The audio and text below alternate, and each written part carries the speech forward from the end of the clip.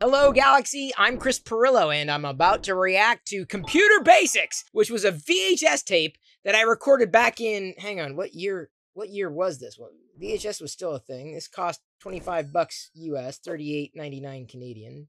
17.99 net UK, whatever the hell that means.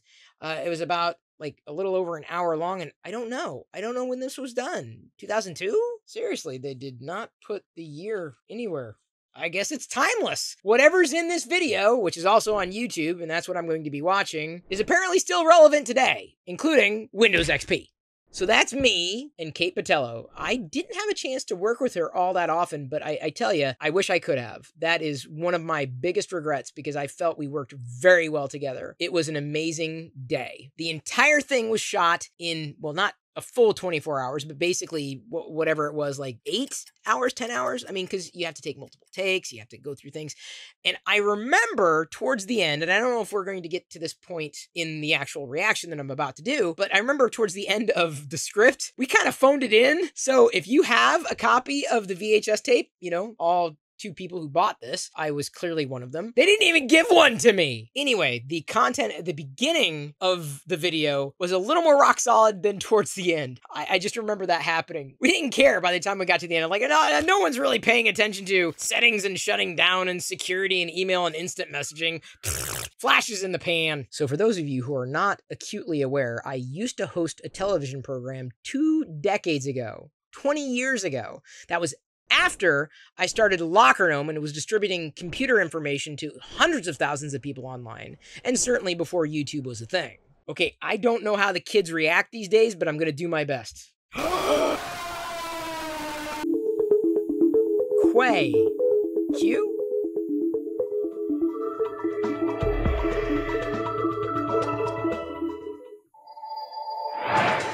Every day, technology is part of your life. Now there's Tech TV, a new television network all about technology.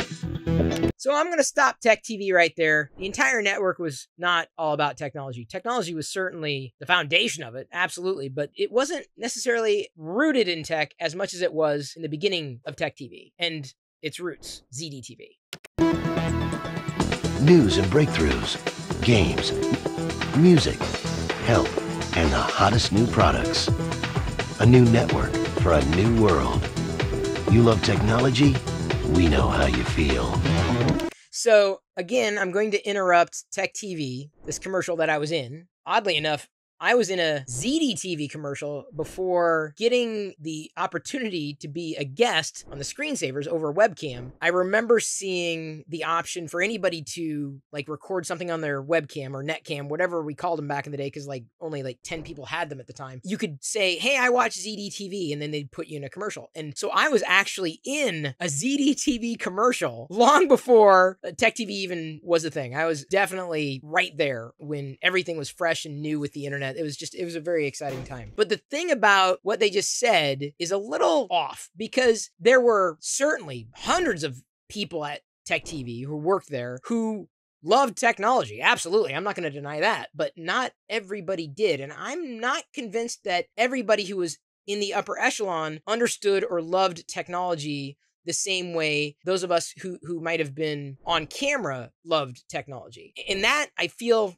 was pretty obvious in the decisions that were made with the network. I'm very grateful for the time that I had with it. I'd do it again in a heartbeat. It was it was an amazing 2-year run for me. When you create content for a specific audience, the people who are driving it tend to get that audience. Everybody else may not, but you need the everybody else. You do. It's a team effort. It's a group effort. So that's not me slagging the upper echelon or those who may not have been geeks because you need talent that's not just on camera but that makes the whole machine work. That's that's teamwork.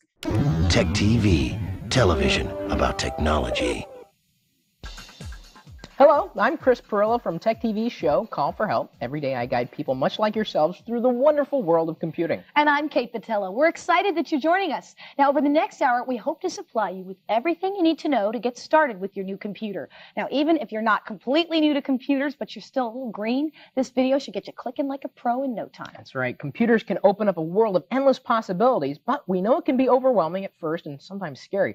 So we're going So Back then, keep in mind, Windows XP had just been released. Like it was brand new. The thing that we think about is antiquated. The save icon, right? The floppy disk. Kids these days don't know what that is, right? It's this weird shape and they've got no association. And in many ways, technology was scary. It wasn't as pronounced or prevalent uh, or prolific as it is today. Wow, that's a lot of P's. So you may laugh and think who would ever buy a VHS tape teaching them computer basics, but there was a big market or should have been for something like this. I'm going to take you step by step through the whole process. By then, you'll be prepared to go it alone.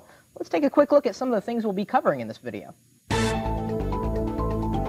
First up, we'll show you how to plug everything, including your digital camera and printer, into your computer, if you have them. Then we'll take you through some basic interactions like starting up the computer and using your mouse. Okay, you gotta tell me, is my voice higher pitched now? or was it back then? Because honestly, I'm still waiting for my other testicle to descend. Then I'm going to guide you through all the different sections of your screen and teach you about Oh, sorry. About the Windows operating system. Plus, we'll show you how to install new software and how to uninstall it when you no longer need it. And we'll cover how to open and use programs and then how to edit and alter files. Then we'll show you everything you ever wanted to know about the internet. How to get connected, how to surf the web, how to search, and how to use Whoa, Chris, you're telling us that you, me, are going to teach everybody everything they need to know about the internet? Yes, that's how big the internet was, okay? There were like four websites. use email. Now then, we're going to talk security and a few steps that you can take to make sure your computer is connected. And last but not least, we'll show you how to properly shut down your computer without using the power button. All this and Shut down the computer without using the power button? Is this sorcery? more as we guide you through the world of computer basics.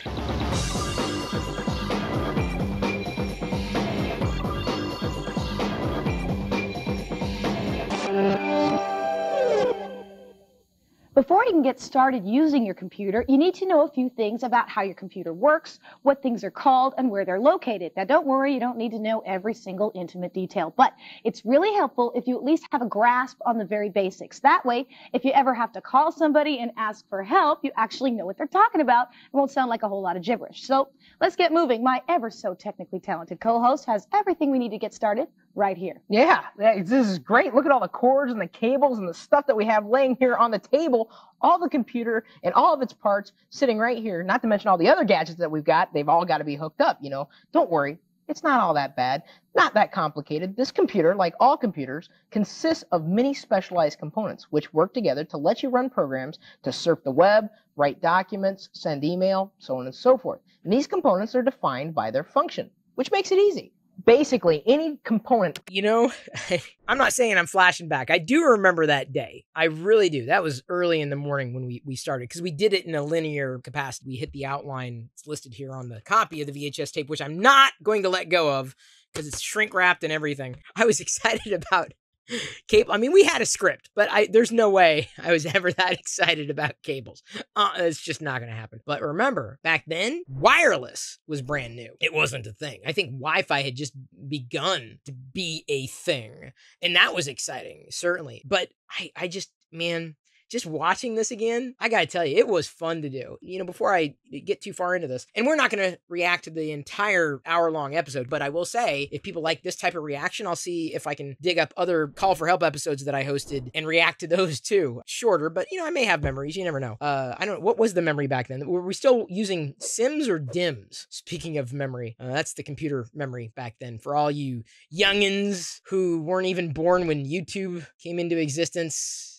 I've done a lot over all this time, but I remember being so happy to do what I did. I, I felt like I was in my groove and I was comfortable. I, I've always been comfortable in front of the camera with a microphone. It's it's not even close to being a stress. If I could do one thing for the rest of my life, it would be this. And I have done that as a part of my life, not necessarily all of my life, but you know, I I, I was always happy for that, you know, the opportunity. And I found my own groove. I was substantially younger. I was in my 20s. Uh, definitely do not know or did not know as much then as I do now, or at least I'd like to believe that. But we're never going to see another Tech TV. It's just never going to happen. And I'm happy to be a part of your memories. But I remember what I felt when I did this or something like this. And uh, I loved it. Uh, you know, the only thing I, I, I would have changed would have been my hair, man. This I look like a freaking microphone with the you know the the the what is it? Is it the windshield? This thing, this thing right here. What do they call that? The mic foam.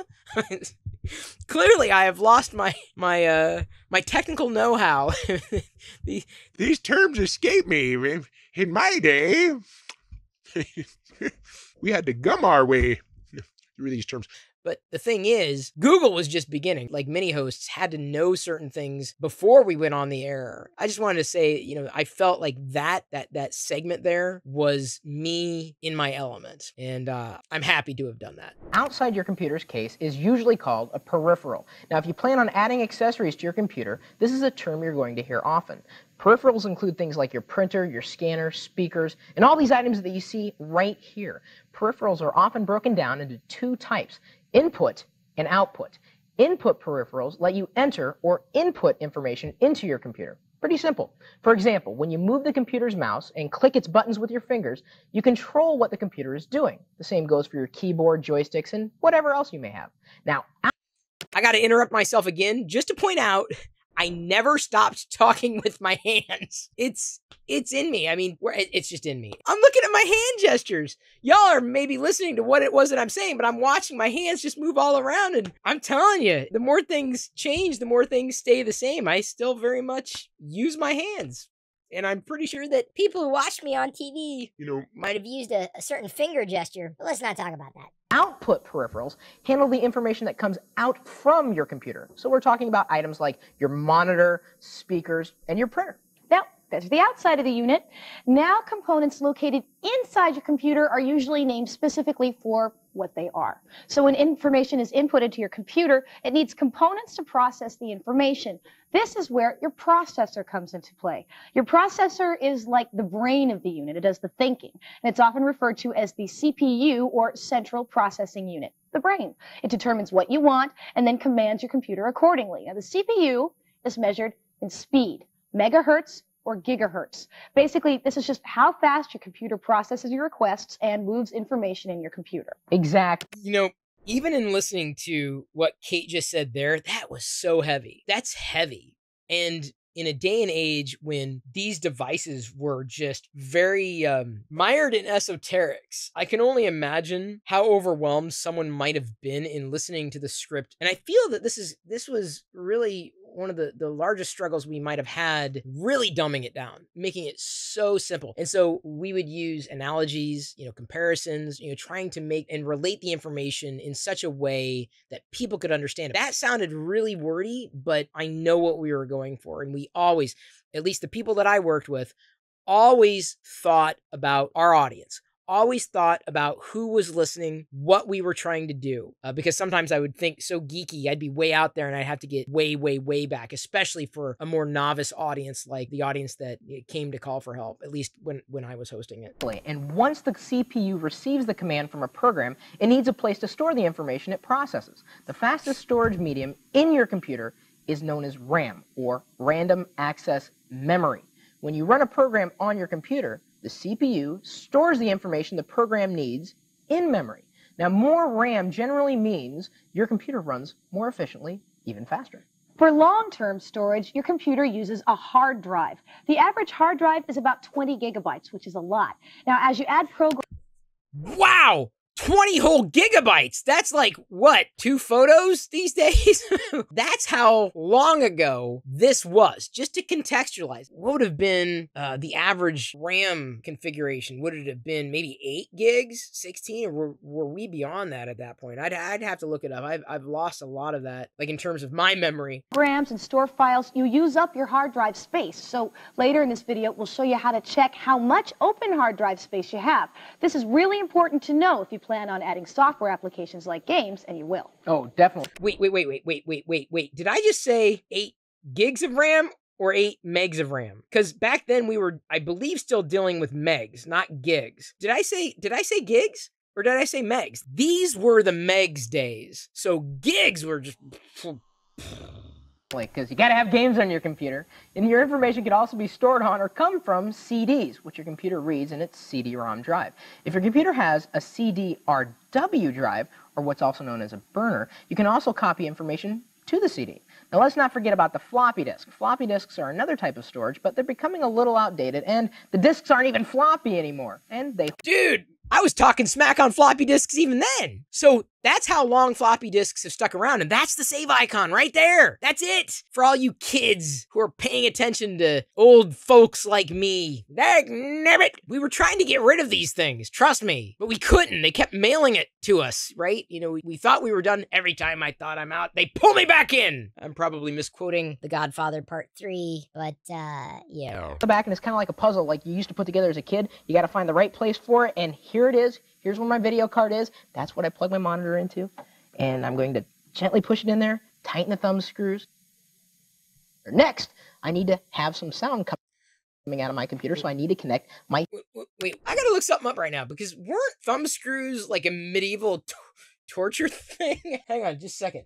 Thumb screws medieval. Oh my god. Oh shit. Oh my god. The thumb screw was a torture device used in medieval Europe to crush a person's fingers or thumbs. I don't think computing was that painful. wow. Um. Mm, speakers. Ooh, look at my Doctor? speaker. Thank you so much. This is almost like a four step, but not really. This is my speaker cable, and you notice it's colored this nice hospital we did a little riffing. That's one of the reasons why I would love to work with Kate any capacity again because we, we, we did well. And that's the thing is we all have different personalities, different personas, and some some some of them mix well, some of them don't. But I had a genuine good time with Kate on set in this video that we recorded. I always enjoyed making those types of connections. So I'm very grateful to have found a colleague, coworker, a co-host who I could bounce off of and, and have fun. And, and Kate's certainly, you know, not the only one. little green. Boy, I'm just sticking with the doctor thing right there. Now, color coded. I'm going to see if my back of the computer here is that it? Nope, that green's a little darker. Let's move a little. Oh, look at that. Look at the port right there. It's also that nice colored green, so I'm going to stick it in right in there, right in the back of the computer. Ours has a little picture next to it. It's hard to see, but Stick it in! Quoting Margaret Cho. believe me, it's right there. And of course, it's color coded green, so you don't have to worry about anything. Now, as for your mouse and the keyboard, they both use what's known as a PS2 connector. These are slotted and ra- PS2?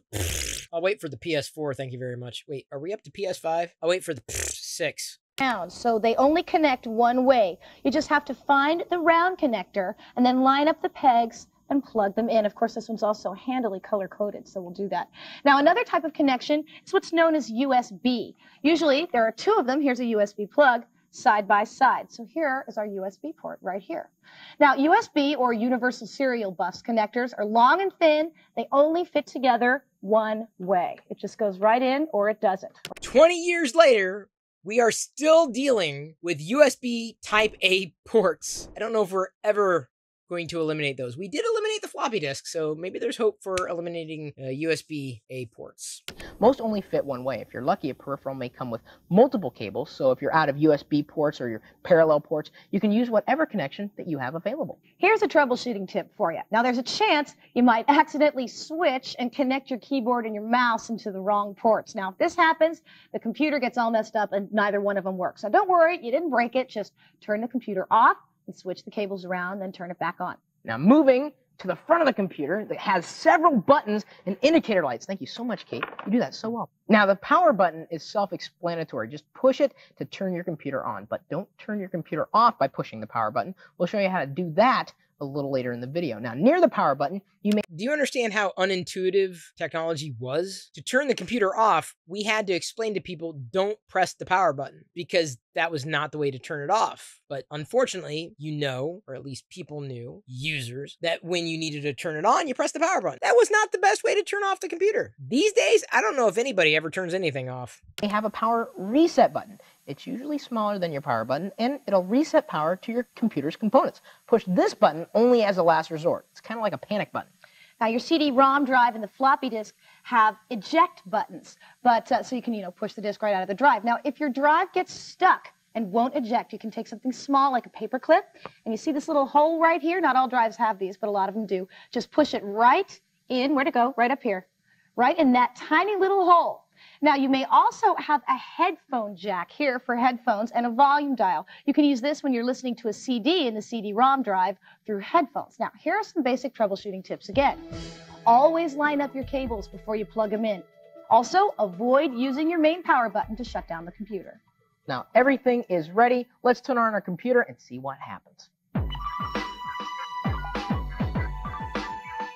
Oh man, it's been all this time and we haven't even booted up the computer, dude. Okay, I I don't know if you remember any of this. I remember some of it. Happy to keep reminiscing, absolutely. But I gotta know, like, do you want me to reminisce on this? And this was a great video. Thank you for participating in, in whatever way that you possibly could. And even if you're just sitting there watching the screen, going, "What the hell did I just watch?" At this point, I'm going to leave you to your own devices.